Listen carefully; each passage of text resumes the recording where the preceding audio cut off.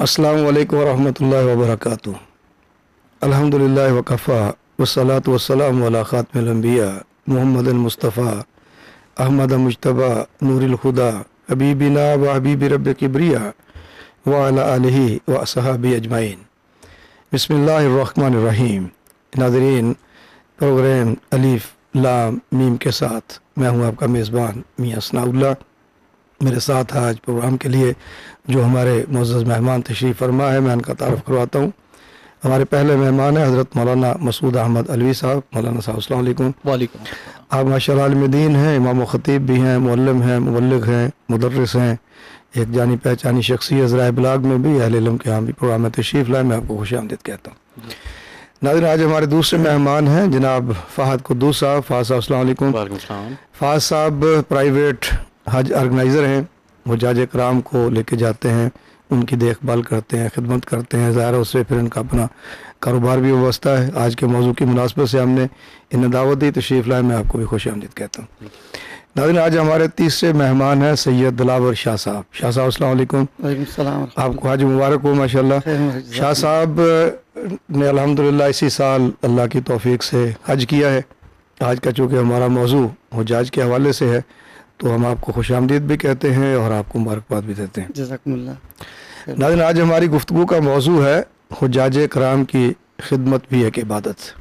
جی ہاں ناظرین یہ ہم نے موضوع رکھا ہے کہ چونکہ آج کا سیزن تقریباً ختم ہو گیا ہے۔ حجاج کرام کی آخری فلائٹ بھی میرے خیال میں سرکاری اسکیم والوں کی آ چکی ہوگی۔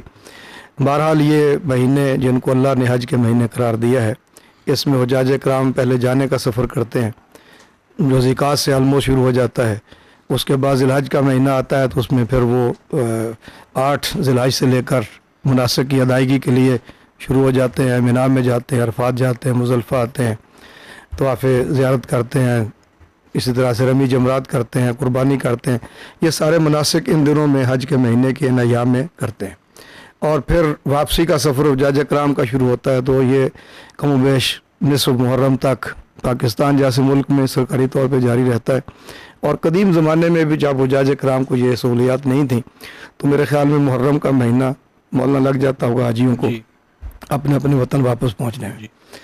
تو ناظرین حجاج کرام اللہ کی توفیق سے جو یہاں عبادت کرنے کے لیے آتے ہیں ان کی خدمت اور دیکھ بھال سب سے زیادہ ذمہ داری تو سعودی حکومت کی ہوتی ہے۔ اس لیے کہ ان کے یہ دور مہمان ہوتے ہیں۔ ایک مہمان تو ان کے ملک کے، وطن کے، اور کوئی بھی ملک ایسا نہیں ہے۔ خواہ وہ پاکستان ہو، کوئی اور ملک ہو، حتیٰ کہ کوئی غیر مسلم ملک بھی اگر ہو اور اس کا کوئی اپنا کوئی تہوار ہو رہا ہو فیسٹیول ہو رہا ہو، اور اس کے اندر کوئی لوگ اکٹھے ہو رہے ہوں، تو ان کی خواہش ہوتی ہے کہ ہمارے ملک کی نیک نامی ہو، بدنامی نہ ہو۔ اور وہ حت الوسا ان کو فیسیلیٹیٹ کرنے کی کوشش کرتے ہیں۔ اور اس طرح ہم پاکستان میں بھی دیکھتے ہیں، مختلف تقریبات میں باہر سے اگر لوگ آتے ہیں، کبھی کوئی کھیل یہاں پر ہوتے ہیں تو ہم تمام تر وسائل اس پہ لگاتے ہیں۔ تو سعودی حکومت تو اس لیے بھی کرتی ہے کہ یہ اہم ترین فریضہ ادا کرنے کے لیے پوری امت مسلمہ وہاں پر اکٹھی ہوتی۔ ہے تو ایک تو یہ ان کی ذمہ داری بنتی ہے اور اس کو وہ بحسن طریقے سے نبھانے کی کوشش کرتے ہیں اور ہر سال نئے نئے انتظامات کرتے ہیں، شکایات آتی ہیں، ان کو دور کرتے ہیں۔ اور دوسرے پھر یہ کہ حجاج کرام جو وہاں پہنچتے ہیں، تو ان کو ضیوف الرحمان کہا جاتا ہے کہ یہ اللہ کے مہمان ہیں، رحمان کے مہمان ہیں۔ تو اللہ کے مہمانوں کی خدمت کرنا یہ پھر دوسری ذمہ داری ہو جاتی ہے۔ اسی طرح سے پھر جو لوگ مختلف ممالک سے، بشمول وطن عزیز پاکستان سے وہ جاج کرام کو لے کے جاتے ہیں، ان کی دیکھ بھال کرتے ہیں، تو ایک طرح سے ان کی بھی دوری ذمہ داری ہو جاتی ہے۔ ایک ذمہ داری تو ان کے اس منصب کے اعتبار سے، مثلاً وزارت مذہبی امور ہے تو اس کی ذمہ داری ہے۔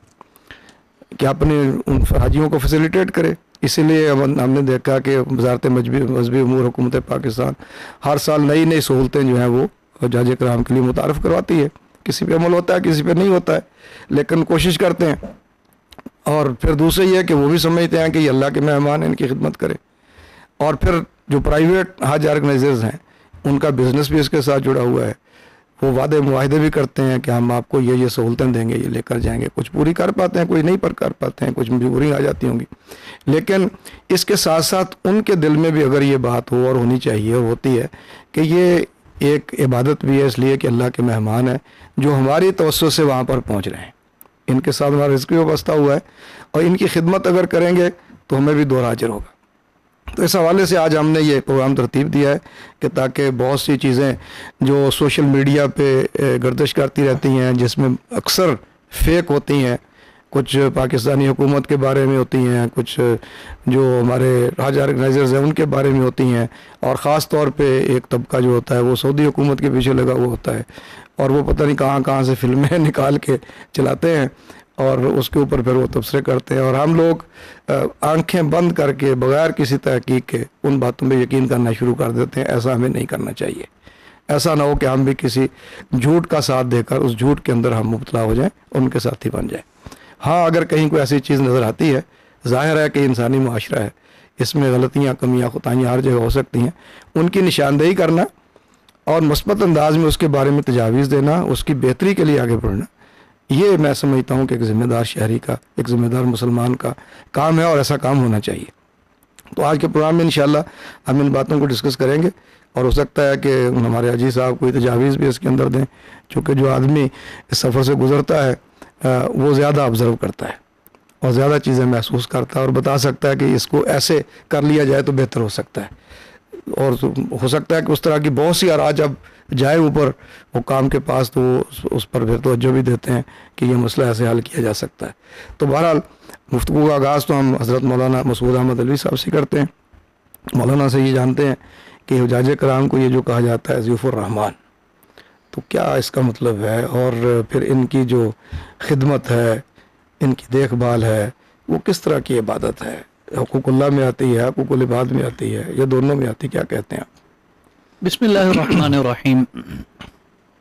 سب سے پہلی بات تو یہ کہ ابھی جو یہ مبارک مہینہ چل رہا ہے، اس میں بڑی کثیر تعداد میں حجاج کرام کی واپسی کا عمل شروع تھا جو اب تقریباً اپنے اختتام کو پہنچ چکا ہے۔ اس پر تمام ایسے ہمارے ناظرین جو حج سے تشریف لائے ہیں، بالخصوص وہ مبارکباد کے مستحق ہیں اور پھر اس کے بعد ان سے وابستہ جتنے لوگ اس حج آپریشن میں شریک ہوئے اللہ تعالیٰ ان سب کے اعمال کو قبول فرمائے۔ حج کے لیے ہم اکثر جب حج پہ بھی جاتے ہیں تو ایک عبارت دیکھتے ہیں خدمت الحاج شرف لنا۔ اسی طرح ضیوف الرحمان کا ایک لفظ بہت زیادہ استعمال ہوتا ہے۔ یہ وہاں لکھا ہوتا ہے لکھے ہوئے بھی۔ ہوتے ہیں وہاں پہ۔ اور جو ہدایہ وغیرہ ہدیے ان کی طرف سے دیے جاتے ہیں کھانے پینے کی اشیاء کی شکل میں تو ان پر بھی لضیوف الرحمان لکھا ہوتا ہے۔ تو یہ اصلاً کیا چیز ہے؟ بیسیکلی ضیوف ضیف کی جمع ہے۔ اردو میں ہم اسے مہمان کہتے ہیں اور انگریزی میں گیسٹ کہتے ہیں۔ تو یہ بیسیکلی وہ ہے۔ لیکن اس کی جو اضافت ہے جو مطلب اس کے ساتھ اللہ تعالیٰ دوسرا لفظ لے کر ہم اس کو متصف کر رہے ہیں وہ کیا ہے؟ ضیوف الرحمان رحمان یعنی مہربان کے مہمان۔ جی جی۔ عام مہمان نہیں ہے۔ مہربان قدردان اس کے یہ مہمان ہے تو اس لحاظ سے اس لفظ کے اندر جو مٹھاس ہے اس کو وہ حاجی فیل کر سکتا ہے۔ رحمان تو اللہ کا نام ہے ہاں جی۔ جی جی۔ اور اس میں صفت مہربان جو اللہ تعالیٰ کی ہے وہ وہ صفت ہے۔ جی جی۔ تو اس لحاظ سے یہ لفظ بڑا اہم ہے۔ ہم اس کو حاجیوں کے لیے استعمال کرتے ہیں اور حجاج کرام کے لیے بھی یہ شرف اور اعزاز کی بات ہے کہ یہاں سے اگر وہ جا رہے ہیں تو وہ کسی شخصیت کے مہمان نہیں ہیں بلکہ اللہ تعالیٰ کے مہمان ہیں۔ بے شک۔ دوسری بات یہ ہے اس کے ساتھ کہ جب یہ اتنے اہم گیسٹ ہیں وی آئی پی گیسٹ ہیں اللہ کے مہمان وہاں جا رہے ہیں وی آئی پی نہیں وی وی آئی پی سے وی وی آئی پی تو یہ جب وہاں پہ جا رہے ہیں جی۔ تو وہاں پر ان کی خدمت کرنا جی۔ اور کوئی ایسا موقع ہاتھ سے جانے نہ دینا جس میں ہم ان کی کوئی خدمت کر سکتے ہیں اور وہ خدمت نہ کریں اچھا اس چیز کو دیکھا بھی جاتا ہے کہ گورنمنٹ ہے سعودی گورنمنٹ ہے وہ بھی اس چیز کا بڑا اہتمام کرتی ہے۔ اچھا ایک ہوتی ہے نا ڈیوٹی جی جی۔ آپ کو سم ٹائم نظر آتا ہے کہ مجھے جو لوگ ریسیو کر رہے ہیں یا جو لوگ مجھے ڈیل کر رہے ہیں وہ پروفیشن سمجھ کے نہیں کر رہے۔ جی۔ وہ اس سے دو قدم آگے بڑھ کے کر رہے ہیں۔ تو یہ جو چیز ہے یہ نظر آنی چاہیے۔ اس لیے کہ یہ حاجیوں کی جو خدمت ہے یہ اتنا اہم عمل ہے کہ حضرت ابن عباس رضی اللہ تعالیٰ عنہ ان کی ڈیوٹی ہوتی تھی پانی پلانے والی۔ جی۔ تو ان کا بھی حج کا ارادہ تھا لیکن آپ صلی اللہ علیہ وسلم نے انہیں فرمایا کہ تمہارا جو کام ہے نا تم نے وہ کام کرنا ہے۔ اللہ اور انہوں نے پھر وہی کام کیا کہ حاجیوں کو بس ڈٹ گئے اور یہی کام انہوں نے کیا حاجیوں جی۔ کو پانی پلاتے رہے۔ جی۔ اور ظاہر سی بات ہے کہ جب انتظامات یعنی آرگنائزرز متعلقہ لوگ جب اپنی ڈیوٹیز سے ذرا دائیں بائیں ہوں گے کہ میں ذرا عبادات زیادی کر لوں جی جی۔ تو انتظامات میں خلل آئے گا۔ جی۔ اس لیے جو حاجیوں کی خدمت پر معمور ہیں انہیں یہ بات ذہن نشین کر لینی چاہیے کہ ہماری عبادت اس وقت بڑی عبادت ان کی خدمت ہے۔ ان خدمت کو ہے۔ جتنی سہولت اور راحت ہم پہنچا سکتے ہیں یہی ہماری نوافل ہیں یہی ہمارے اذکار ہیں اور یہی ہمارے دیگر عبادات ہیں معمولات۔ فرائض ادا کریں آپ کو کوئی نہیں روکے گا۔ ضروری چیزیں جو ہیں مناسک بے شک ادا کریں۔ جی۔ لیکن اس کے بعد جو بڑی ڈیوٹی ہے وہ یہی ہے کہ حاجیوں کی ہم نے خدمت کرنی حاجیوں کی خدمت کرنی ہے۔ تو ظاہر ہے کہ رحمان کے مہمان جی۔ تو دیکھیں نا جی کسی بڑی شخصیت کا کوئی مہمان آتا ہے تو آدمی سمجھتا ہے کہ اس کی خدمت کروں گا تو وہ شخصیت بھی راضی ہوگی۔ تو رحمان کے مہمان ہیں ان کی خدمت اس نیت سے اس جذبے سے کر رہا ہے کہ میرا اللہ مجھ سے راضی ہو جائے کہ اس کے مہمان اس کے گھر آئے ہیں۔ اور بلا شبہ مبارکباد کے مستحق ہیں وہ لوگ کہ جو جن کو اللہ تعالیٰ نے بلایا ہے اور اللہ ان سب کے حج کو قبول فرمائے۔ ان سب کے حج کو حج مبرور بنا دے جو حج مبرور ہوں وسائی مشکور ہے تو اللہ تعالیٰ مقبول کرے کمیاں خطائیاں ان کی معاف فرما دے۔ اور بار بار اللہ تعالیٰ یہ سعادت اور توفیق نصیب فرمائے کہ جو یہ تڑپ اور تمنا رکھتے ہیں کہ جائیں۔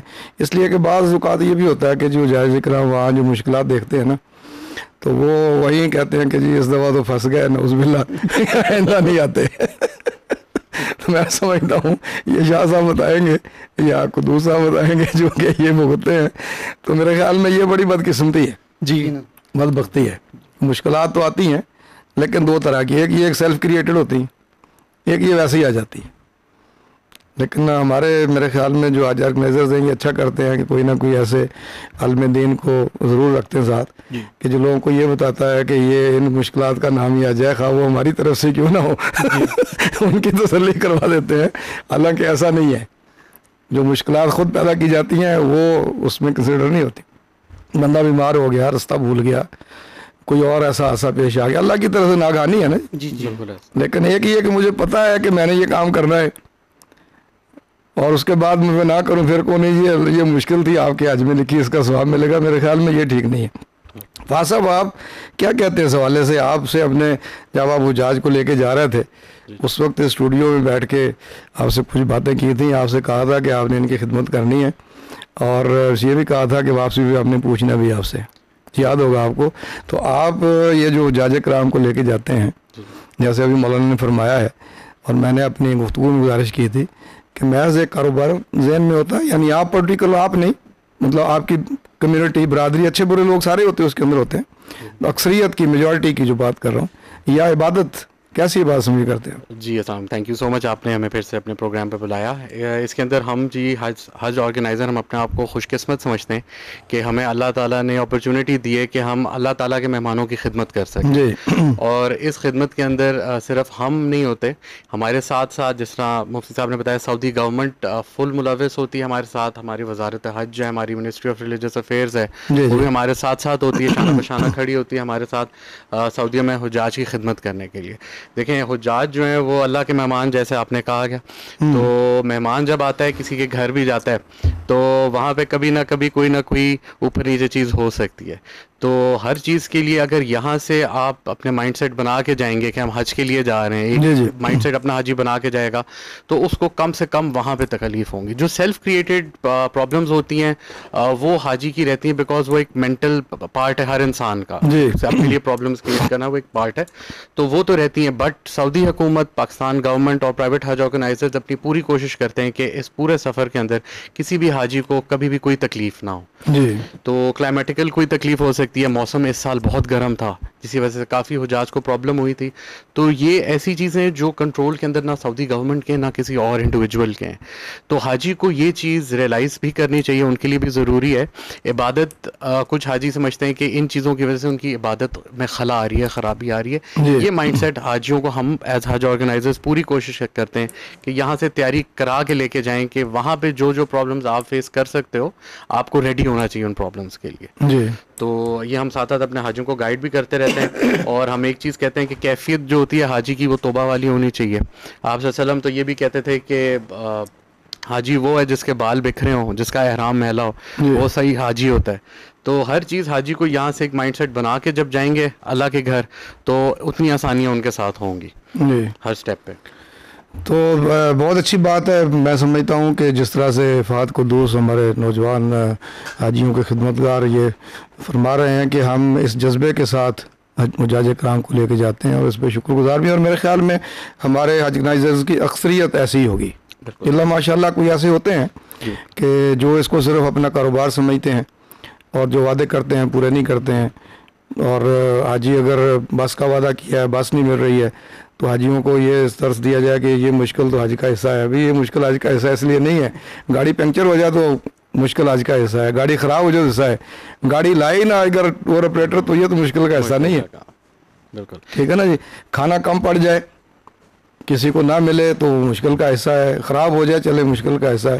لیکن اگر وہ آرگنائزر لائی نہ کھانا یا کھانا وہ لائے کہ جناب جو پرانا فریزر سے نکال کے گرم کر کے دے یہ مشکل کا ایسا نہیں ہے اسے آج ہی بیمار ہو جائے۔ تو مشکلات کو بھی کیٹیگرائز کرنا پڑتا ہے۔ جیسے خود فہد نے کہا کہ کچھ وہ ہیں جو قدرتی آ جاتی ہیں۔ بہرحال یہ بڑا اچھا جذبہ ہے۔ اور میرے خیال میں ہمارے آرگنائزرز کو اسی جذبے کے ساتھ جاج کرام کو لے کے جانا چاہیے اور دوہرا شکر ادا کرنا چاہیے۔ جی ایک تو یہ کہ موقع مل رہا ہے کہ وہ جاج کرام کی ضیوف الرحمان کی خدمت کریں گے ان کو لے کے جائیں گے۔ دوسرا یہ کہ اس مبارک سفر کے ساتھ اللہ نے ان کا رزق جوڑا ہے۔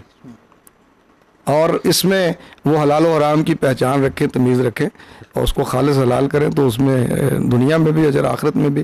جی شاہ صاحب ماشاء اللہ آپ نے حج کا سفر کیا۔ آپ پرائیویٹ اس پہ گئے تھے، سرکاری اسکیم پہ گئے تھے؟ بہت شکریہ سر۔ آپ سرکاری اسکیم گئے تھے؟ پرائیویٹ نہیں میں پرائیویٹ پہ کیا تھا۔ پرائیویٹ پہ جی جی پرائیویٹ پہ گیا تو تھا۔ آپ کا کیا تجربہ رہا وہاں پر؟ کیا آپ کہتے ہیں؟ جو فہد نے کچھ باتیں کی ہیں مولانا نے کچھ اس کی ابتدائی تمہید بتائی ہے کہ کتنی اہمیت ہوتی ہے جہاز کی؟ جی الحمدللہ اللہ نے بہت بڑا کرم کیا ہم پہ جی۔ کہ اللہ نے اپنے اس مقدس فریضے کے لیے ہمیں اپنے گھر بلایا۔ جی جی۔ تو میں سمجھتا ہوں کہ الحمدللہ حج ایک مشکل ترین عبادت کہا جاتا ہے اس لیے کہ روایت میں آتا ہے کہ حج کرنے کے بعد بندہ ایسا ہو جاتا ہے جیسے ماں کے پیٹ سے پیدا ہو جائے۔ جی جی۔ تو اس لیے اس کو مشکل ترین عبادت کہا گیا اور ثواب بھی اتنا زیادہ اللہ پاک نے رکھا ہے۔ جی جی۔ لیکن میں کہتا ہوں اس سال الحمدللہ ثم الحمدللہ ہمیں تو کسی قسم کی کوئی تکلیف نہیں ہوئی۔ جی۔ اور اللہ نے اتنا کرم کیا تھا اللہ نے ہمیں الحمدللہ پیدل حج ہم سے کروایا۔ ماشاء اللہ اور مکمل اور ہمیں کسی قسم کی کوئی بھی تکلیف راستے میں نہ گورنمنٹ کی طرف سے کوئی خامی نظر آئی۔ جی۔ ماشاء اللہ اللہ تبارک و تعالیٰ نے ان لوگوں کو اس قابل سمجھا ہے اپنے حرمین شریفین کی خدمت کے لیے ان کو مقرر کیا ہے۔ اور میں کہتا ہوں کہ وہ مبارکباد کے مستحق ہیں۔ جی۔ سعودی گورنمنٹ اور سعودیہ کے جو سعودی عرب کے جو لوگ ہیں عوام ہیں وہاں کے خادمین ہیں انہوں نے بہت زیادہ خدمت کی حاجیوں کی۔ جی۔ جیسے آپ نے پہلے فرمایا کہ لوگوں نے جو ہے نا طرح طرح کی باتیں کرتے ہیں۔ کوئی ان پہ الزام لگاتا ہے کوئی ٹور آپریٹر پہ الزام لگا لیتا ہے۔ جی جی۔ کوئی کہتے ہیں جی گورنمنٹ اپروچ نہیں کر رہی تھی۔ لیکن ایسی بات میرے اندازے کے مطابق نہیں ہے۔ لوگ اگر اپنی من مانی عبادت کرنا چاہیں اور من اپنے خواہش کے مطابق کرنا چاہیں تو وہ کہیں بھی پوری نہیں ہو سکتی۔ جی۔ سعودی گورنمنٹ نے ماشاءاللہ اس سال بھی بہت اچھے انتظامات کیے تھے۔ سب سے پہلے انہوں نے وہاں پہ جو اس سال نسخ کارڈ جاری کیا تھا جی۔ وہ ایک ان کی بہت بڑی اچیومنٹ تھی۔ جی۔ یہ فہد صاحب آپ کے اس کے بارے میں آپ کو وہ بتا دیں گے کہ انہوں نے بہت زیادہ سکیور کرنے کی کوشش کی تھی کہ جو لوگ آتے ہیں مطلب بغیر تصریح کے آتے ہیں حج کے لیے پھر جی، ان کے جی۔ لیے بھی مشکلات پیدا ہو جاتی ہیں۔ جی تو اس سے بچنے کے لیے انہوں نے بہت تر انتظامات کیے تھے۔ لیکن اس کے باوجود شکایت ہمیں بھی پاکستان میں آ کے پتہ چلا کہ جی وہاں پانی کا مسئلہ تھا ہوں۔ جیسے بھائی نے کہا گرمی تھی۔ جی۔ میں بذات خود اگر یہ بتاؤں تو الحمد للہ سما الحمد للہ مجھے گرمی بالکل محسوس ہی نہیں ہوئی۔ جی جی۔ کیونکہ اگر آپ وہاں جا کے اور اس چیز کو دیکھیں کہ جی میں کس مقصد کے لیے آیا ہوں جی۔ اور کس عبادت کے لیے میں آیا ہوں تو پھر وہ آپ کو خواہشات آپ کو آسائشیں بھول جاتے ہیں۔ جی۔ آپ اس رب کی رضا کے لیے اس کے ساتھ تعلق بنانے کے لیے جاتے ہیں۔ تو وہ آپ کو نہ گرمی محسوس ہوتی ہے نہ سردی محسوس ہوتی ہے۔ جی۔ تو الحمد للہ سما الحمد للہ ہمارے پرائیویٹ ہر حج گروپ کے جو خیمے الاٹ ہوتے ہیں سب کے لیے جی، جی۔ ہر فرد کے لیے ہوتے ہیں۔ لیکن میں الحمد ہم نے میرے ساتھ کچھ ساتھی تھے۔ اور ہم نے پیدل حج کیا مسجد نمرہ میں نماز پڑھی سیدھا جبل رحمت پہ چلے گئے۔ جی، ہم جی۔ اپنے خیمے میں بھی نہیں جی، گئے۔ جی۔ اور ہمیں گرمی فیل نہیں ہوئی الحمدللہ۔ شاہ جی یہ بتائیں کہ چلو گرمی جو ہے یہ تو قدرتی ہے نا جی۔ موسم تو کسی کے اختیار میں نہیں ہے۔ جی جی۔ مطلب بارش آنا چاہے سعودی حکومت نہیں روک سکتی۔ ایسا ہی ہے۔ دھوپ نکل آئے تو سورج کو سعودی حکومت نہیں سم- سمجھا سکتی۔ اللہ کے اختیار میں ہے وہ جی، تو جی۔ کہ کتنی گرمی کرنی نہیں کرنی ہے۔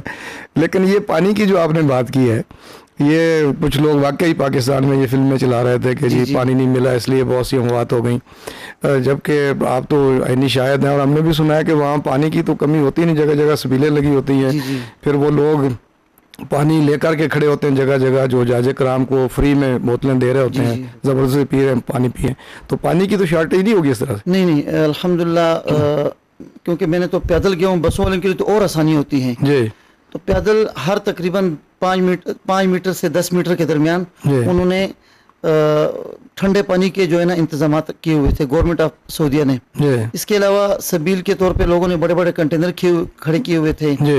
پھر خیموں میں اتنا زیادہ وافر مقدار میں ٹھنڈا پانی میسر تھا۔ جوسز تھے ساری چیزیں الحمدللہ میسر تھی۔ یہ لوگوں کی افواہیں ہیں ہم نے ایسی کوئی چیز نہیں دیکھی کہ پانی کی کمی وہاں پہ آئی ہو ہمیں۔ جی۔ پینے کی پانی کی ماشاءاللہ۔ اسی طرح وضو خانے ماشاءاللہ الحمدللہ۔ جی ناظرین جیسے ہمارے شاہ صاحب بتا رہے ہیں کہ یہ چونکہ ایک طرح سے انی شاہد ہیں آج کر کے ہیں ویسے تو وفاظ صاحب بھی لیکن یہ ظاہر ہے کہ ان کا ایک اپنا پوائنٹ آف ویو انتظامی اعتبار سے ہے اور وہ کہ جو خود انہوں نے حج پرفارم کیا ہے اللہ کی توفیق سے وہ اس کے بارے میں بتا رہے ہیں۔ تو ظاہر ہے کہ اللہ تعالیٰ ان کی خدمات کو بھی قبول فرمائے جو اس جذبے کے ساتھ کر رہے ہیں۔ اور جو اس جذبے سے عبادت کر کے ان کی عبادت قبول فرمائے۔ مولانا، ایک بات بتائیے گا، جیسے فاض صاحب کی گفتگو سے بھی اندازہ ہوا، شاہ صاحب کی گفتگو سے بھی، کہ جو حجاج کرام جاتے ہیں یہاں سے، تو ان کے بارے میں یہ ہوتا ہے کہ ظاہر ہے کہ اللہ کے رسول کی حدیث ہے یہ تو ماں کے پیٹ سے۔ لیکن وہ تو ان تین چیزوں کے ساتھ مشروط ہے نا، رفض، فسوق اور جدال۔ اگر حاجی رفض بھی نہیں چھوڑتا، فسوق بھی نہیں چھوڑتا، جدال، لڑائی جھگڑا جو معمولی بات ہے اس کے لیے، یہ بھی نہیں چھوڑتا۔ اور پھر بھی اس زوم میں اس کو ڈال دیا جائے کہ آپ چلے گئے ہیں تو بس آپ کا حج قبول ہو گیا۔ آپ گئے ہی اس لیے جی آپ کا حج قبول ہو گیا تھا۔ اور آپ کو پتہ نہیں چالیس مرتبہ ستر مرتبہ پاک کیا اللہ نے پھر اپنے گھر بلایا۔ ہے یہ کیا تصورات ہیں؟ اس سے تو پوری کی پوری عبادت بندے کی عقارت چلی جاتی ہے۔ دیکھیں حج پہ چلے جانا جی۔ اور حج کا قبول ہو جانا جی۔ یہ دو الگ الگ چیزیں جی۔ جو حج پر چلے جانا ہے یہ جی۔ اس لحاظ سے تو اچھا ہے کہ اس آدمی کو اللہ نے بہت سے دیگر افراد میں سے چن لیا ممتاز ہو گئے۔ اللہ اکبر۔ اور اس کی یہ سعادت اور خوش نصیبی ہے کہ اللہ نے اسے موقع دے دیا ہے۔ جی جی۔ اچھا یہ موقع اللہ نے دیا ہے چانس دیا ہے یہ اس لیے دیا ہے کہ یہ وہاں جا کے اپنے گناہ دھلوا کر آتا ہے یا نہیں آتا؟ جا نہیں آتا ہے جی۔ جی۔ یہ چیز یہ ہے کہ وہاں جا کر وہ آدمی کیا کرتا ہے؟ جی۔ تو یہیں سے جانے سے پہلے اگر اس کے گناہ دھل جاتے ہیں ختم ہو جاتے ہیں تو پھر وہ تو اتنی مشقتوں والا سفر ہے اور اس کی کیا ضرورت ہے؟ ٹیکنیکلی اس چیز کو اگر ہم دیکھیں تو وہاں عبادات میں وہ والی موٹیویشن ہی نہیں رہے گی۔ جی جی۔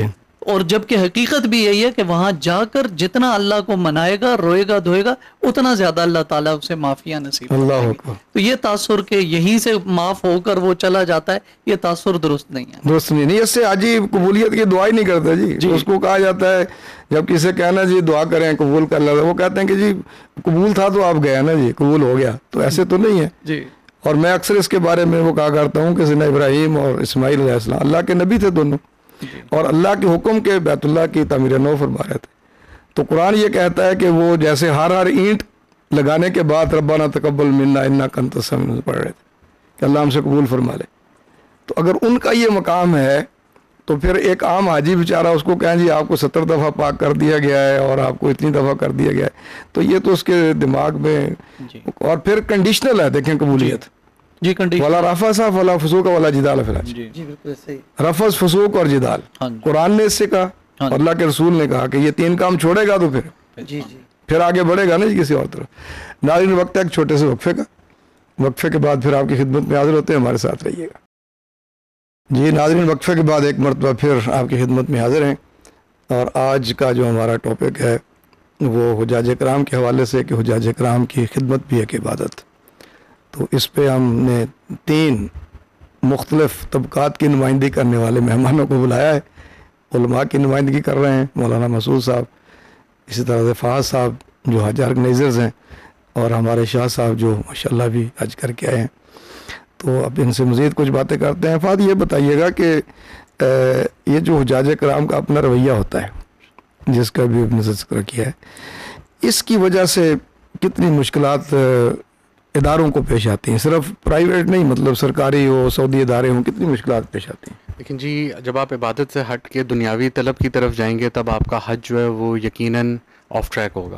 ہم کافی حجاج ہیں، اب حج کے اندر فیسلٹیز جوں جوں بڑھتی جا رہی ہیں۔ کھانے پینے کی فیسلٹیز ہو گئیں اکوموڈیشن اچھی رہائش دینا شروع ہو گئے حاجیوں کو۔ تو حاجیوں کا دھیان اس سال بھی میں نے ایک چیز آبزرو کی ہے کہ دھیان عبادت سے ہٹ کے ان چیزوں کی طرف زیادہ تھا دھیان۔ جی۔ کہ ایئر کنڈیشنر ہے کہ نہیں ہے فروٹس مل رہے ہیں کہ نہیں مل رہے کھانا کب لگے گا؟ جب حاجی کب اس طرف چلا جائے گا تو عبادت کی طرف دھیان بہت کم رہتا ہے اور پھر حاجی کے لیے مشکلات کا سفر کا جی۔ شروع آغاز ہو جاتا ہے۔ تو کیونکہ حج نام ہی مشقت کا ہے صبر سفر اور برداشت آپ نے ہر طرف آپ نے کرنی پڑتی ہے۔ جی۔ ایک دوسرے کو اکوموڈیٹ کرنا ہوتا ہے چیزوں میں کمپرومائز کرنا بہت ضروری ہے حاجی کے لیے۔ تو جب عبادت سے ہٹ جاتا ہے طرف ان چیزوں کی طرف آ جاتا ہے تو پھر حج کا ان کے لیے تھوڑی مشکلات شروع ہو جاتی ہیں۔ جی۔ تو ہمارے لیے ایز حج آرگنائزرز یا سعودی حکومت کے لیے بھی پرابلمٹک ہو جاتا ہے جب حاجی عبادت کو چھوڑ کے ان چیزوں کی ڈیمانڈ کی طرف زیادہ جاتا ہے۔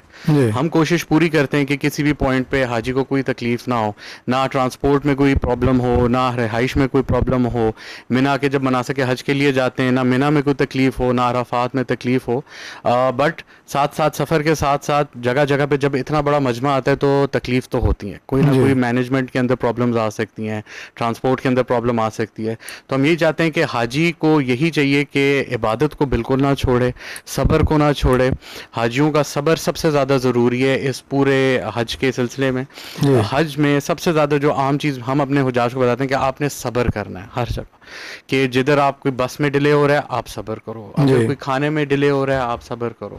تو جتنا حاجی اس چیز کو فالو کرتے ہیں اتنا ان کا حج خوبصورت گزرتا ہے۔ میرے خیال سے شاہ صاحب بھی اسے اگری کریں گے اس بات سے جی۔ کہ جدھر انہوں نے آرام فرمایا جدھر کہیں غصہ نہ کیا تو ادھر ان کا سفر اتنا ہی اچھا رہا۔ جی۔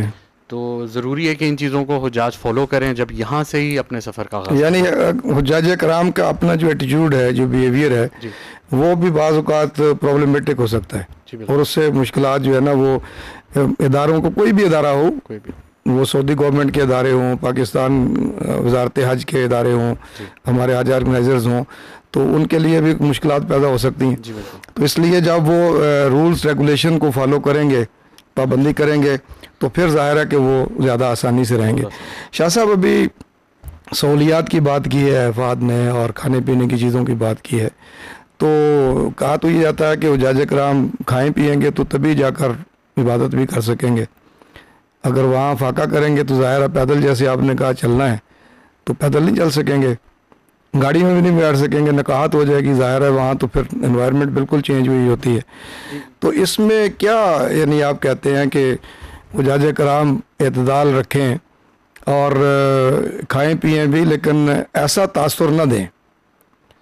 اور وہاں جا کر عبادت کی طرف توجہ دیں۔ جیسے ہمارے ایک دوست اپنا مشاہدہ شیئر کر رہے ہیں کہ عرفات کے میدان میں جب احرام باندھ کے وہاں بھی نہیں ہوتا ہے کہ یہ ایک طرح سے منظر ایسا ہے کہ اللہ کو راضی کرنا ہے، تو جو بیچارے سگریٹ کے مریض ہوتے ہیں، وہاں بھی وہ سگریٹ نہ پئیں تو چین نہیں آتی۔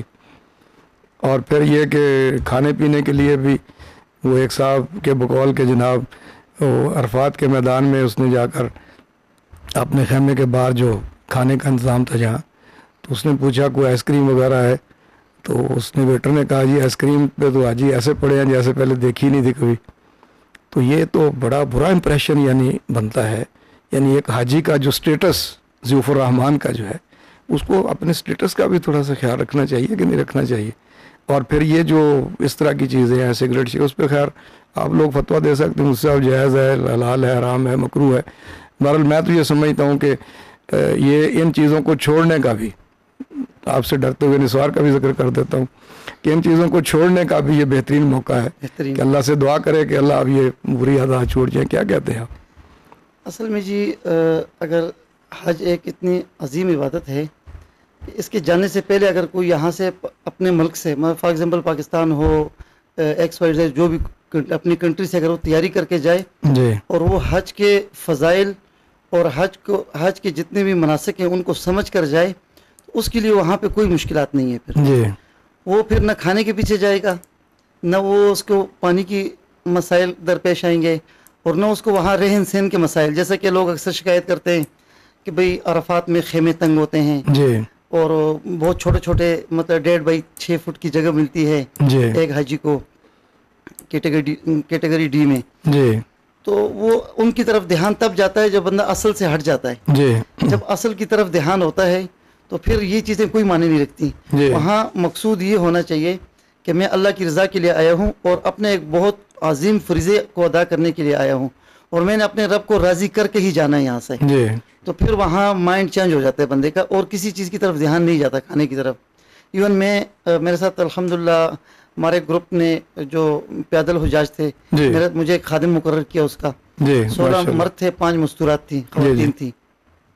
تو میں نے ان کو اپنی طرف سے جو مجھے ذمہ داری ایک ملی میں نے ان کو کہا کہ جی ہم نے بہت کم کھانا کھانا ہے۔ جی۔ کیونکہ یہ کھانا ہمیں اصل مقصد سے ہٹا لے گا۔ جی۔ پھر ہم زیادہ اگر کھائیں گے زیادہ اشاشوں کے پیچھے جائیں گے ہمیں پھر بشریت انسان ہونے کے اور بھی بہت سے تقاضے بندے کو آ جاتے ہیں۔ جی جی۔ واش روم کی ضرورت پیش آ جاتی ہے۔ تو آپ اپنے مقصد سے ہٹ جاتے ہیں۔ جی۔ اور عرفات والا دن بالخصوص زور سے لے کر یہ مفتی صاحب بیٹھے ہیں ساتھ زور سے لے کر غروب آفتاب تک۔ جی۔ یہ ایک ایسا وقت ہوتا ہے کہ یہ میں کہتا ہوں کہ دنیا میں بندہ اللہ کو بار بار بندے کو اللہ پاک نصیب کرے آمین۔ اور ہم سب کو اللہ پاک بار بار جانے کی توفیق عطا فرمائے۔ تو یہ اس وقت اگر ہم کھانا پینا زیادہ کریں گے تو ظاہر ہے ہمیں یہ وقت ہم سے ضائع ہو جائے گا۔ جی۔ ہم لائنوں میں کھڑے رہیں گے ہم آگے پیچھے جائیں گے۔ جی۔ تو ان چیزوں سے درگزر کرنا چاہیے کھانے سے بالکل ایوائڈ کرنا چاہیے خصوصاً عرفات کے میدان میں مینا میں۔ جی۔ عبادت کی طرف جائے گا بندہ تو پھر یہ چیزیں بندے کو مانی نہیں رکھتی کہ جی میرے اچھا کھانا اچھا کھانا الحمدللہ ہمیں پاکستان میں بھی اللہ دے رہا ہے۔ بے شک۔ تو جو عبادت کی طرف اگر ہمارا ذہن بن جائے اور ہم یہاں سے تیاری کر کے جائیں تو پھر ان چیزوں کی طرف ہمارے دھیان بالکل بھی نہیں جائے سب سے بڑی بات شاہ جی جو آپ نے بتائی ہے وہ یہ ہے کہ حجاج کرام کو یہاں سے مناسک ان کی ادائیگی وہ طریقہ کار پورا سیکھ کے جانا چاہیے۔ جی جی۔ کہ اکثریت حجاج کرام کی جو ہے وہ روایتی حج کرنے جاتی ہے۔ جی جی ایسا ہی ہے۔ اور وہ علماء کرام یعنی اللہ کے رسول صحابہ کرام کو فرما رہے ہیں کہ مجھ سے سیکھو مناسک حج۔ ہاں خضو مناسککم۔ مجھ سے سیکھو۔ ٹھیک ہے نا؟ اخذ کرو جی خضو جی لے- جی پکڑ لو وہ پکڑ لو۔ ٹھیک ہے سیکھ لو۔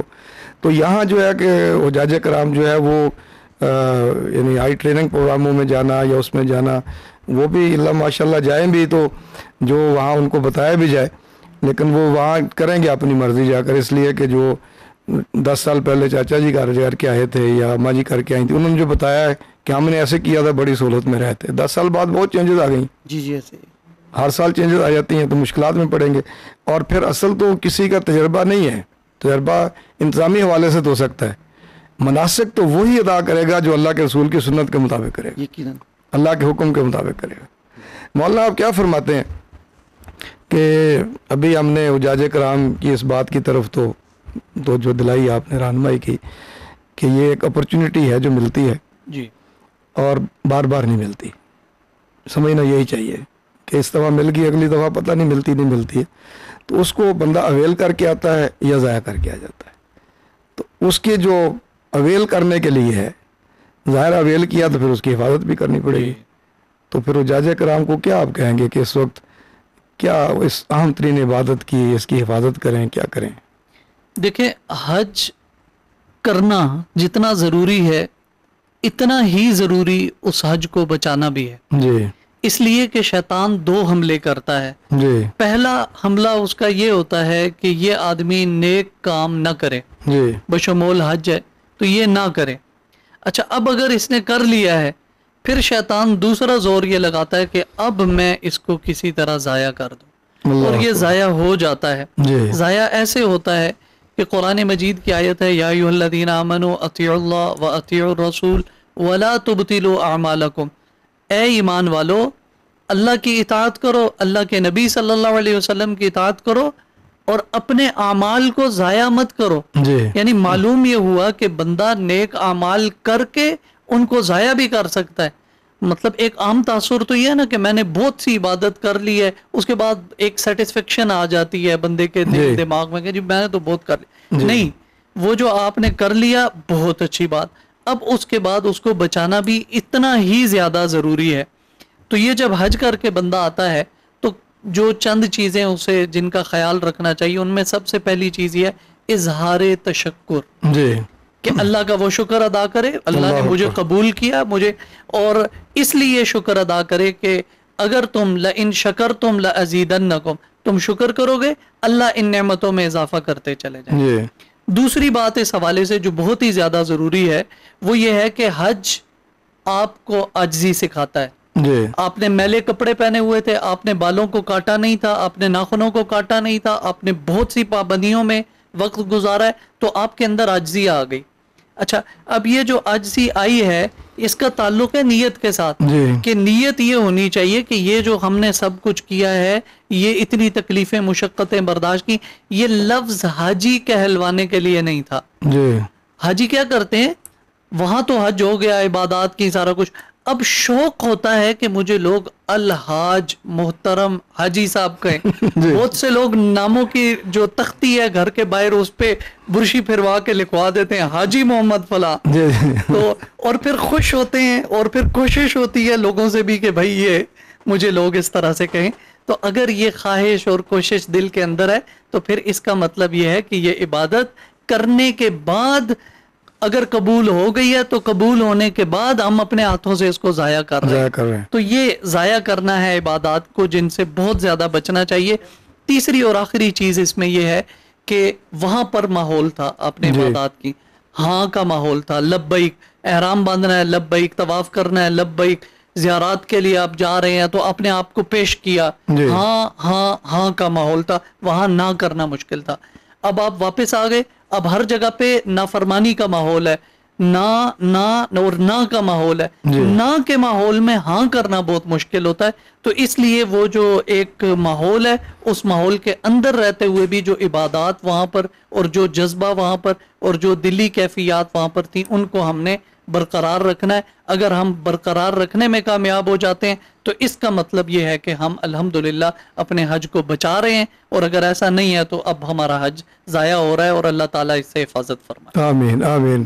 جی ناظرین، یہ بہت اہم پیغام ہے، خاص طور پہ ان لوگوں کے لیے جو حج جیسی اہم عبادت کی سعادت حاصل کر چکے ہیں۔ ویسے تو ہر نیک عمل کو بچانا ضروری ہے۔ اور اس پہ ہم نے کئی دفعہ پروگرام بھی کیے ہیں کہ اپنے نیک عمال کی حفاظت کریں، نیکیوں کی حفاظت کریں۔ اور یہاں تک بھی علماء کرام سے رہنمائی لی ہے کہ حفاظت کیسے کی جائے۔ لیکن حج بہت بڑی عبادت ہے۔ تمام عبادات کا مجموعہ ہے۔ اور پھر اس کا موقع زندگی میں کبھی ملتا ہے۔ اور پھر اس کا تعلق یعنی کمال و دولت سے نہیں ہے۔ اس کا تعلق کسی جاؤ جلال سے نہیں ہے۔ اس کا تعلق خالصتاً اللہ تعالیٰ کی توفیق سے، اس کی مہربانی سے ہے کہ وہ کس کو بلا لے۔ کیسے انتخاب کر لے اس کا بلانے کا اس کو موقع دے دے۔ تو اس موقع کو ضائع نہیں کرنا چاہیے۔ نہ وہاں جا کر اور نہ وہاں سے آنے کے بعد۔ بلکہ اس کے ضائع کرنے کے جو امکانات ہیں وہ تو جانے سے پہلے ہی شروع ہو جاتے ہیں۔ کہ جانے سے پہلے اشتہارات سوشل میڈیا پہ پبلسٹی وغیرہ وغیرہ۔ تو یہ تو پہلا قدم ہے۔ پھر وہاں جا کر یعنی لڑائی جھگڑا نہیں چھوڑا گناہ کے کام نہیں چھوڑے نافرمانی نہیں چھوڑی۔ تو یہ وہاں بھی خالی ہاتھ رہ گئے پیسے بھی ضائع کیا وہ کیٹیگری ڈی ہو یا اے ہو۔ جی۔ کتنی بھی ہو۔ اور پھر واپس آنے کے بعد اگر وہاں کچھ بچا لیا تو آ کر جیسے مولا نے کہا کہ ایسے کر لیا۔ تو اس لیے اللہ تعالیٰ بچا کے رکھے اور محفوظ رکھے قبول فرمائے۔ جی فات ابھی دو اداروں کا آپ نے تذکرہ کیا کہ جن کے ساتھ ایک عام حاجی کو بھی واسطہ پڑتا ہے اور خاص طور پہ جو حج آرگنائزرز ہیں ان کو واسطہ پڑتا ہے۔ جی ایک تو ہماری اپنی وزارت مذہبی حکومت پاکستان جی۔ جو آپ کو لائسنس دیتی ہے اجازت نامہ دیتی ہے اور جس کے رولز اینڈ ریگولیشن کے آپ پابند ہیں۔ اور دوسرا پھر سعودی حکومت جی کہ جو وہاں آپ کو فیسیلیٹیٹ کرتی ہے اور ان کے رولز اینڈ ریگولیشن کے آپ وہاں پابند ہیں۔ تو ان دونوں کے بارے میں آپ کیا کہتے ہیں کہ خاص طور پہ اس سال کا جو وائی تھا اس میں کیا ان کی طرف سے عام حاجیوں کے ساتھ آپ کے ساتھ کیا برتاؤ رہا؟ کیا کہتے ہیں آپ؟ دیکھیں جی اس وقت سعودی عربیہ بھی جو ہے وہ اپنے ایک ویژن کے اوپر چل رہی ہے ویژن ٹوینٹی تھرٹی جی۔ تو وہ بھی ایک چینج کے تھرو گزر رہی ہے۔ اس وقت سعودی حکومت حج کے آ، انتظامات کے ریگارڈنگ وہ ایک چینج کے تھرو گزر رہے ہیں۔ وہ ہر چیز کو ڈیجیٹلائز کر رہے ہیں۔ اس کے بعد آ، وہ حج کو ریلیجس ٹورزم مذہبی سیاحت کے ایک اس کو وہ دے رہے ہیں کہ جب آپ ادھر آتے ہیں کہ آپ صرف حج بھی نہ کریں آپ بلکہ اور مقامات پہ جو ریلیجس مقامات ہیں ان کو بھی وزٹ کریں۔ جی۔ وہ ٹورزم کے لیے کو پروموٹ کرنا چاہ رہے ہیں سعودی عرب تو اس کے لیے وہ کافی سیریس ہیں اور اس کے اوپر کافی ایفرٹ کر رہے ہیں۔ جی۔ اب وہاں پہ جو چینجز آ رہی ہیں ان کو اڈاپٹ کرنا کچھ ہمارے لیے ایز حج آرگنائزرز اور حجاج کے لیے بھی تھوڑا مشکل ہے اور کچھ ان کے بھی آرگنائزرز کے لیے پرابلمٹک چیزیں ہو رہی ہیں۔ بٹ سعودی حکومت اس کے اوپر بہت نیک نیتی سے کام کر رہی ہے اور اس کے اوپر جو ایفرٹ وہ کر رہے ہیں وہ نظر آنا شروع ہو گیا ہمیں جی۔ کچھ سال کے اندر اندر انشاءاللہ اگلے کوئی دو سے تین سال کے اندر یہ نظام اور بہتر ہوتا جائے گا اور جی۔ ڈیجیٹائز ہو جائے گا۔ اب یہ دیکھیں جس طرح انہوں نے نسخ کارڈ کے بارے میں ایک ذکر کیا تھا اب نسخ کارڈ سے یہ فائدہ ہوا تھا کہ کوئی حاجی گمتا بھی تھا اس نسخ کارڈ کو صرف سکین کرنا ہوتا تھا۔ جی۔ ساری ڈیٹیل حاجی کی موجود ہو جاتی تھی۔ جی۔ حاجیوں کو رسک بینڈ دیے ہوئے تھے کڑے دیے ہوئے تھے ان کو آپ اگر سکین کرو خدا نہ خواستہ حاجی کے پاس کچھ بھی نہ ہو۔ جی اس کے ہاتھ میں رسک بینڈ ایک ہوتا تھا۔ صرف اس کو بھی اگر سکین کر لیں آپ کو حاجی کے ہوٹل کا بھی پتہ لگ جائے گا کس مکتب کا ہے کس شرکے کے ساتھ آیا ہوا ہے۔ تو سعودی حکومت جو ہے وہ پوری کوشش کر رہی ہے اور ان کے ساتھ ساتھ ان کے روبرو جو چل رہی ہے وہ ہماری وزارت حج ہے۔ جی۔ ہر سال وزارت حج حج سے پہلے سعودی عرب جاتے ہیں ہمارے آرگنائزرز جاتے ہیں ان کے ساتھ معاہدے کرتے ہیں سعودی حکومت کے ساتھ جس کے اندر تمام شرط شرائط وغیرہ سارا کچھ درج ہوتا ہے۔ اور ان شرائط پہ عمل درآمد کرنے کے لیے ہماری جو وزارت حج ہے وہ ہماری حج کے دنوں کے اندر مانیٹرنگ بھی کرتی ہے۔ جی۔ اور وہ بہت سخت مانیٹرنگ ہوتی ہے ہمارے ہوٹل آ کے یا ہمارے جدھر بھی ہم لوگ موجود ہوتے ہیں وہاں پہ مک- مکہ میں ہوں چاہے مدینہ میں ہوں جی۔ وہاں پہ آ کے سہولیات کو وہ دیکھتے ہیں حجات سے ان کا فیڈ بیک لیتے ہیں۔ اس سال تو انہوں نے ایک پاک حج ایپ بھی لانچ کی ہوئی تھی جس کے اوپر حاجی ڈائریکٹ منسٹری کے ساتھ رابطہ کر سکتا ہے۔ جی۔ چوبیس گھنٹے حاجی منسٹری کے ساتھ رابطے میں رہ سکتا ہے۔ اگر کوئی شکایت ہو کوئی پرابلم ہو تو حاجی تھرو اس ایپلیکیشن کے منسٹری کو انفارم بھی کر سکتا ہے۔ تو دونوں طرف جو ہے وزارت حج ہوگی چاہے سعودی عربیہ کی وزارت حج ہے دونوں طرف بہت ایفرٹ کیا جا رہا ہے اس وقت کہ سسٹم کو جو ہے تمام حجاج اور پرائیویٹ سیکٹر اور جتنے بھی لوگ ہیں اس کو اڈاپٹ کر لیں۔ جی۔ اور ہم لوگ پوری کوشش کر رہے ہیں کہ الحمدللہ اس سسٹم کو اڈاپٹ کریں کیونکہ جب ہم وہ سسٹم اڈاپٹ کریں گے ان کا جو نیا سسٹم ہے اتنی آسانیاں ہمارے حجاج کے لیے ہوتی ہیں۔ جی۔ اور یہ بہت ضروری ہے کہ یہ بات ہمارے حجاج بھی سمجھیں کہ اس وقت سعودی عرب بھی ایک چینج کے تھرو گزر رہا ہے اور پاکستان گورنمنٹ اور پرائیویٹ آرگنائزرز کوشش کر رہے ہیں کہ ہم اس چینج کو اسموتھلی ہم بھی اڈاپٹ کریں۔ جی۔ تو ظاہر ہے اس کے لیے ذرا اویئرنیس کی بھی ضرورت ہے۔ اگر اویئرنیس نہیں ہوگی تو لوگ اس کو ایک نئی چیز سمجھیں گے ایک نیا برڈن سمجھیں گے اور پھر اس میں وہ مشکلات کا شکار ہو جائیں گے۔ اور ظاہر ہے کہ وہ سعودی گورنمنٹ اس میں اویئرنیس بھی دے رہی ہے مختلف ذرائع سے ان کی اپنی بہت سی ہے جو ویب سائٹس وغیرہ پہ بھی ان کی اس کی پروموشن جو آتی ہے ساری بتاتے ہیں۔ اور تین بڑے بڑے کام دیکھیں جو چند سالوں کے اندر ہو گئے ہیں۔ یعنی پہلا کام تو یہ ہوا کہ جو ٹرین چل گئی منا سے عرفات تک تو جاج کرام کو کتنی سہولت ہو گئی۔ جی۔ ٹھیک ہے نا جی؟ اب حاجی صاحب تو پیدل گئے ہیں لیکن اکثر جو ہمارے سرکاری حاجی ہوتے ہیں وہ میرا خیال وہ ٹرین جی جی استعمال کرتے ہیں۔ اور اس میں رش بھی ڈیوائڈ ہو جاتا ہے۔ پھر یہ کہ وہ بسیں جو پھنستی تھیں وہ بھی ختم ہو گئی۔ اور حاجی جو ہے بعض اوقات اپنے خیمے سے اگر اس کا قریب ہے جمرات جانے کے لیے وہ ٹرین پہ بیٹھتا ہے جمرات جا کے اترتا ہے رمی کرتا ہے واپس آ جاتا ہے۔ اسی طرح سے اس نے مزلفہ عرفات عرفات گیا ٹرین پہ وہاں سے بیٹھا مزلفہ اتر گیا مزلفہ سے بیٹھا سیدھا رمی کی اور وہاں سے بیٹھا اپنے خیمے میں آ گیا واپس مینا میں۔ یعنی اویئرنیس کے ساتھ اگر ہو نا۔ اگر اویئرنیس نہ ہو تو ظاہر ہے پھر وہ مشکل میں پڑ جائے گا۔ پھر کہے گا جی وہ کتنی لمبی لائن لگ گئی جی کھڑے ہونا پڑ گیا جی۔ اس اس لائن سے بہتر ہے جو بسیں پھنستی ہیں اور اس پوری پوری رات آپ گزر جاتی۔ پھر آپ یہ دیکھیں کہ ٹرین چل گئی جناب مکہ مکرمہ سے مدینہ منورہ تک۔ وہ کتنی سہولت ہوگی زائرین کے لیے، وہ جاج کرام کے لیے بھی اور عمرہ کرنے والے زائرین کے لیے بھی، کہ وہاں سے آپ بیٹھیں ٹرین میں اور بڑی سموتھلی جو ہے نا وہ آپ جناب پہنچ جائیں۔ پھر روڈ ٹو مکہ جو بہت اچھا سسٹم جو متعارف کرا دیا کہ وہ امیگریشن کے جو مراحل وہاں جا کر سعودی عرب میں آپ کو ہوتے تھے، وہ یہیں یہیں سے طے ہو گئے کہ آپ اپنے ایئرپورٹ سے جائیں اور اس سے اپنا پاسپورٹ سکین کروائیں، سارا ڈیٹا سکین ہو گیا۔ اور آپ کے پاس جناب یہاں سے ایک سٹیمپ لگ گئی، ہمارے امیگریشن والوں نے لگا دی، وہاں جائیں گے وہ ایک سٹیمپ لگ گئی یا نہیں لگتی، جو بھی ہے، اس کے بعد جناب آپ کا وہ سارا وقت بچ گیا۔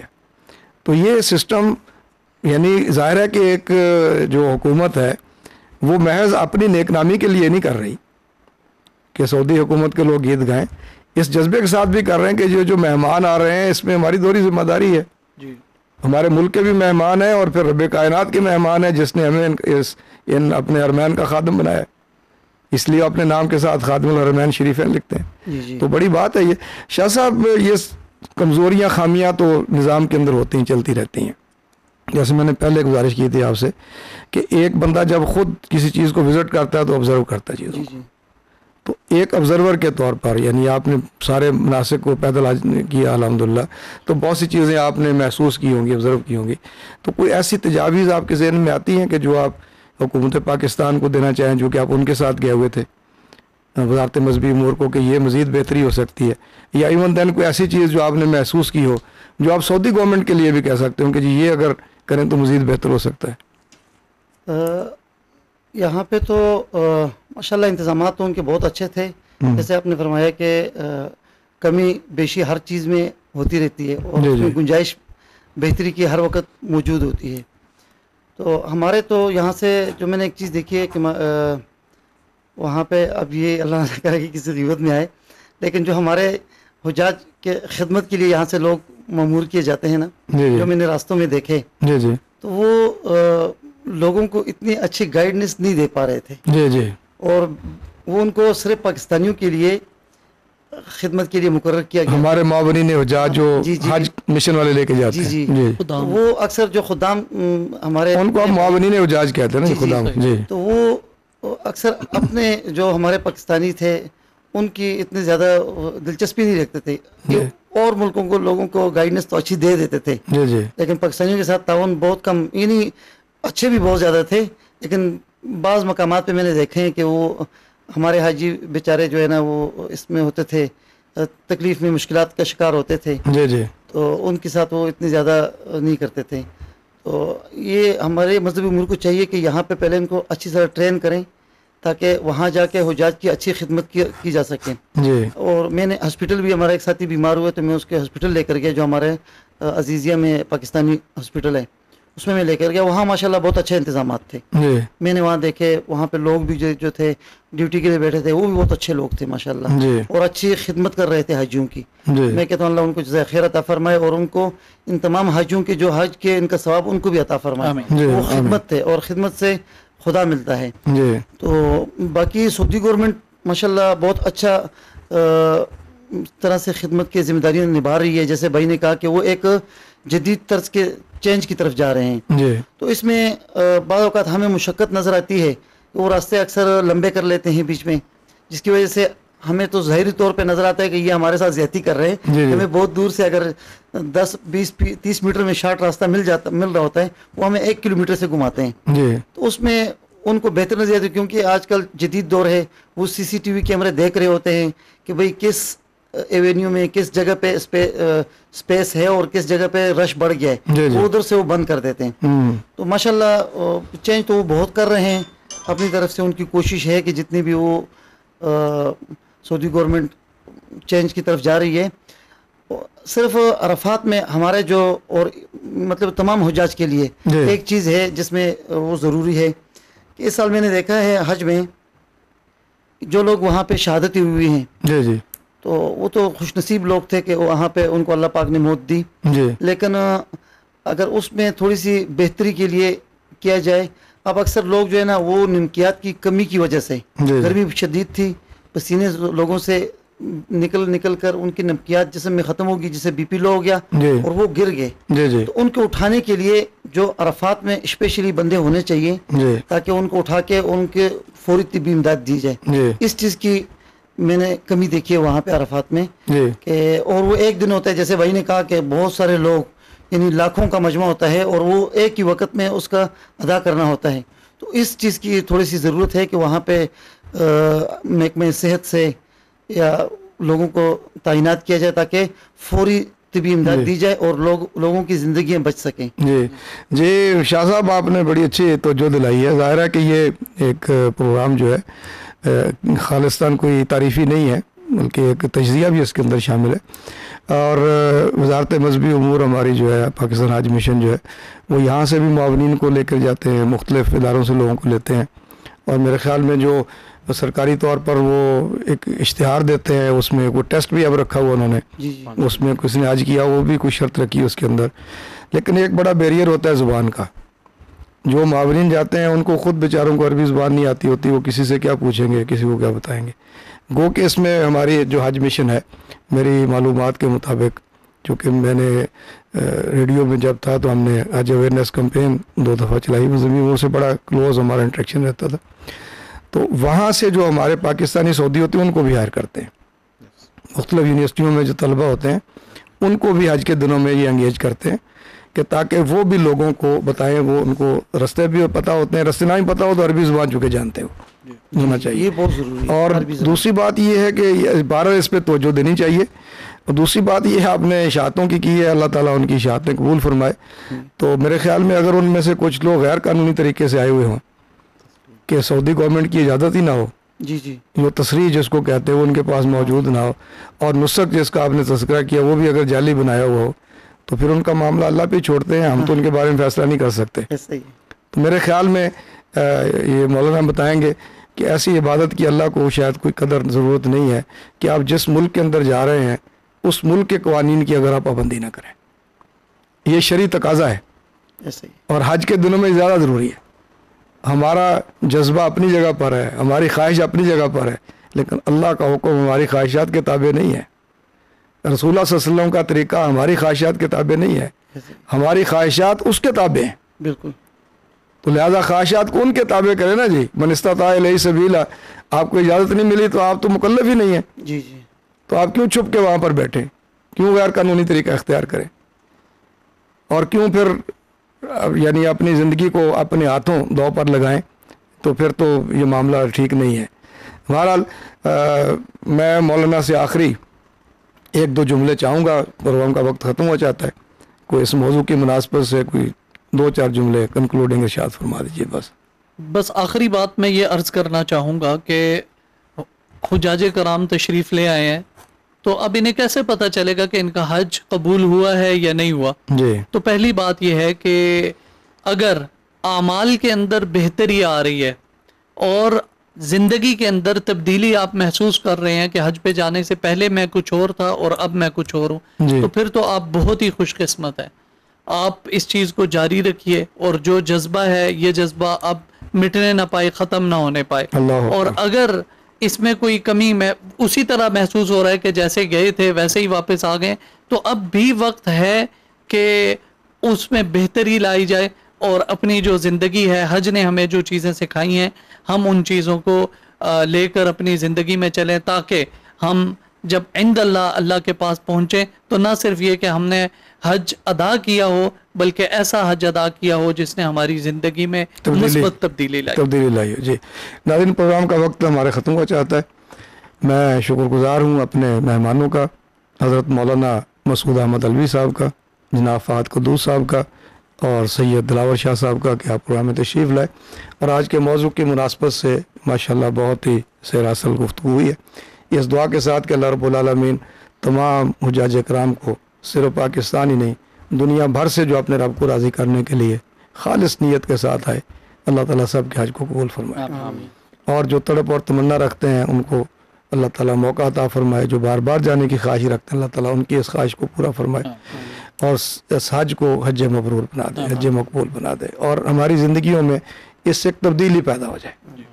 اس لیے کہ ایک حاجی کی زندگی بدلے گی تو اس کی نہیں رہے گی بلکہ میرے خیال میں ارد گرد کے بہت سے لوگوں کی اپنے خاندان کے لوگوں کی زندگیوں کو وہ تبدیل کرنے کا ذریعہ بنے گا۔ اللہ اس ملک کے حال پہ رحم فرمائے۔ حجاج کرام کو اب بھی اپنی قبولیت کی دعا کرتے رہنا چاہیے اپنا جائزہ لیتے رہنا چاہیے اور اللہ سے بہتری کی دعا مانگتے رہنا چاہیے۔ اللہ اس ملک کو دن دگنی رات چوگنی ترقی نصیب فرمائے۔ اس کی حفاظت فرمائے، اس کی حفاظت کرنے والوں کی اللہ تعالیٰ حفاظت فرمائے۔ یہ جو ایک لہر نئی پاکستان کے اندر اٹھی ہے دہشت گردی کی، اور اس سے بہت سی ہمارے قیمتی جانیں جو ضائع ہو رہی ہیں، اللہ تعالیٰ ہم سب کی حفاظت فرمائے۔ اور اس دعا کے ساتھ کہ اللہ رب العالمین اہل فلسطین کی مدد